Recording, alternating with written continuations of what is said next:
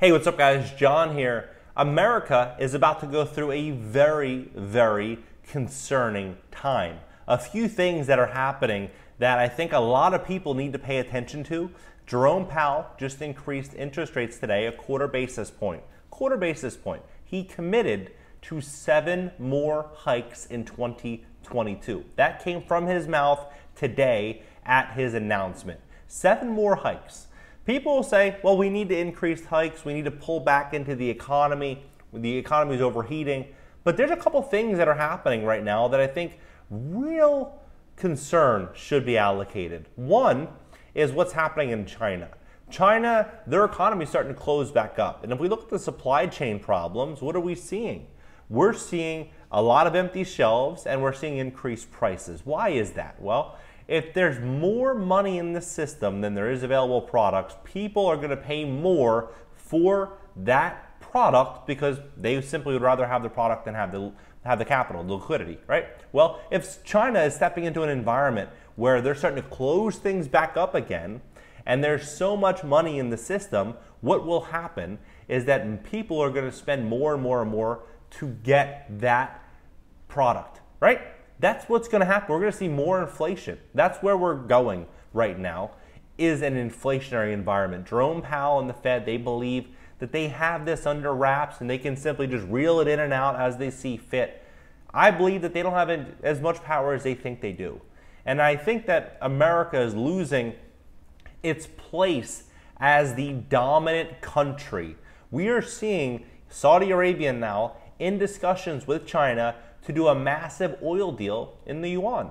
What would that mean? That would mean that they're stepping away from the dollar as a reserve currency for this transaction, potentially future other transactions. And what that would mean is that the relationship between Saudi Arabia and China, potentially India and Russia, could all be done maybe in yuan. We don't know, but it's definitely not a good sign for America. What we've also seen is that a lot of other countries have been expanding over the last couple of years. Meanwhile, America has been contracting, and we have rising oil prices. What we're going to be seeing is going to be more expensive times. And as they increase rates, what how does that impact the consumer? Well, over the last two years, most consumers, a lot of Americans had a hard time finding jobs. A lot of Americans stacked a lot of debt, and a lot of Americans acquired you know, things that maybe they didn't need, maybe a luxury car, maybe, you know, they just came into money because they maybe were working under the table, maybe they had unemployment, maybe they got a PPP loan, whatever it is, they got some money and then they went out, they spent it, acquired debt, and, uh, and now that debt's going to get more and more and more expensive. When I say debt, I mean credit cards. Credit card debt is going to get more expensive. Auto loans are going to get more expensive. Home equity lines of credit, adjustable mortgages, all of these things are going to get progressively more expensive if we follow the direction in which Jerome Powell stated today, which is seven hikes in 2022. Seven hikes. Now, if we do have this, this then would be assigned to restructure any type of debt that you may have, any credit card debt, uh, refinance a home equity line of credit, or potentially an adjustable rate mortgage. Looking at all these options and playing defense here. Because in this inflationary environment, what's generally going to happen is that you are going to want to have cash. You definitely will want to have cash so that you can go out there and buy things. Go out there and buy things because they're going to be more expensive. If you don't have the cash on hand, then it may be harder to actually go out there and acquire the things that you really need for a day to day survival. Another thing that this could also signal is that if you need, let's say, shoes or toothpaste or whatever you need over the next three months or six months, now might be the time to buy them simply because what would be a better investment? Speculating in the stock market or speculating in a crypto investment hoping to make 10 or 20%, or knowing that more than likely you'll be able to buy something today and in six months it's going to be 10 or 20% more.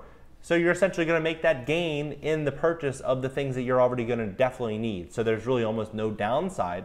I guess the only downside would be is if inflation did not occur, which is very unlikely then you would simply just have these items at the price in which you'd buy them for today. So very, very little risk, very limited risk. A couple things also that I think could be very interesting for the real estate market is that if we have supply chain issues and lumber and you know in China, for example, we get a lot of uh, HVACs, we get a lot of uh, supplies that we need for building of single family homes. And these supplies may be harder to come by. So if they are harder to come by, it means that the home builder and the landlord, the investor, is going to have to carry that property for a longer period of time, taking away even more profits. The, a lot of these investors have been suffering over the last couple of years as labor costs have been increasing and material costs have been increasing. Well, now we're going to have mortgage rates increase. So what's that going to mean is that purchasing power of buyers is going to be shrinking. Meanwhile, the expenses and the, all the debt associated with building these homes will be increasing, meaning that there's going to be a lot more uncertainty, more than likely, in the development of a lot of new single family homes.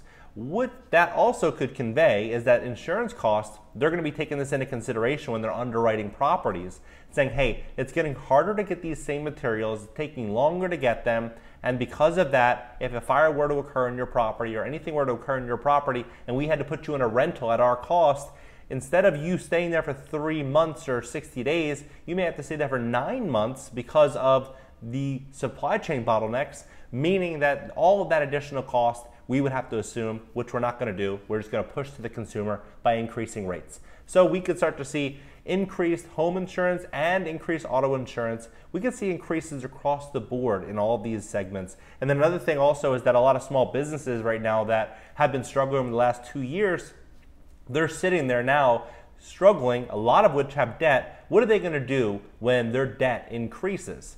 Well, they're going to increase prices because they need to offset this debt meaning inflation almost to me, it's almost guaranteed that we're going to start to see more and more and more inflation. Last year, the CPI was about 7%. They said it's going to go to about 10% this year. So if you factor that in, they're saying essentially a 17% CPI.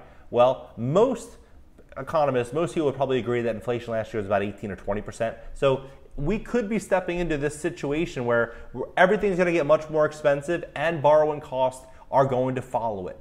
So this could be a situation where it might not happen overnight, but it could be a problem as we step into the next three months, six months. We slowly start to see this opportunity. That's why I personally believe a great thing to do would be to have a lot of options. So you might want to have some precious metals, gold, silver. You may want to have real estate, potentially land. Uh, you want to have things that you can uh, take custodial ownership of and you can sell easily if you need to and you obviously want to have a lot of dollars. So you, the more options that you have, the better. I believe that this is going to be the biggest wealth transfer in human history, and we're all going to be living through this. A lot of people are in denial about just how big this wealth transfer actually is going to be. But if you look at all of this new innovation that's also taking place, all of these massive changes that are occurring in the economy, this is inevitable. This is inevitable. Smart investors are aware of what's going on. They are planning accordingly. They understand that this is a guarantee. This is a guarantee that we are going to see this wealth transfer. We're already seeing it. We're already seeing, you know, in Tampa, Florida, for example, 30% rent increases, 30%. Miami, most expensive city in America. I mean, average rents increased 18%. A lot of people think it's the landlord, but you look at look at everything as a whole. Everything is getting more expensive. Everything.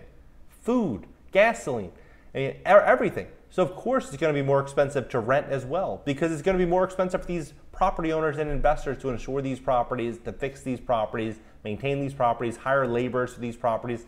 Everything's just going to continue going up. That's why smart investors are aware, they understand, they're building out a defensive portfolio, and they're making smart and calculated positions now and in the future to hedge themselves from all this uncertainty that we are going to definitely see in this economy. When you print the amount of money that we printed over the last two years, it's a signal. It's a signal that the dollar is in very, very big trouble and that we now are stepping into a place, this country is stepping into a place where we could be challenged in a very, very big way by a variety of other countries, all of which would bring even more chaos and turmoil to the everyday American. This is the time to buckle up. This is the time to research, do your homework, and study and be defensive. Don't speculate in the market and invest in things that you do not understand. You know, great, a great quote is if you invest in things you don't understand, you're not investing, you're speculating. Speculators generally lose money. So, this isn't the time to speculate, especially in an environment where who knows what could happen in the next six months. Look at how much change has happened in this economy, in this world, the last two years Nothing is impossible. Nothing is impossible. We're not going back to 2018. We're going into 2022 and 2023, and you got to be prepared for it. Drop your comments below. Where do you see the US economy going in 2022? How do you think these seven interest rate hikes will hold in this economy? Are you consolidating credit card debt or consumer debt? Do you think that this is, you know, the time to do it or do you think that, you know, everything's just going to be completely fine? I'm curious as to what you guys think. Drop it in the comment section. I'll respond to everybody. Subscribe here. Consider subbing on my second YouTube channel. And if you have young children, my young son has a YouTube channel as well. It's an educational channel. We're intending to bring a private school education to him on his platform to help educate and you know provide value to a lot of young children. You know, as of today, what we're seeing is Netflix and all this junk that a lot of kids are consuming, which I believe is doing more harm than good. So we're doing everything that we can possibly do to uh, to provide as much value as possible. Also, if you're on TikTok, subscribe to me over there. I post four or five times a day. All right, guys, catch you later.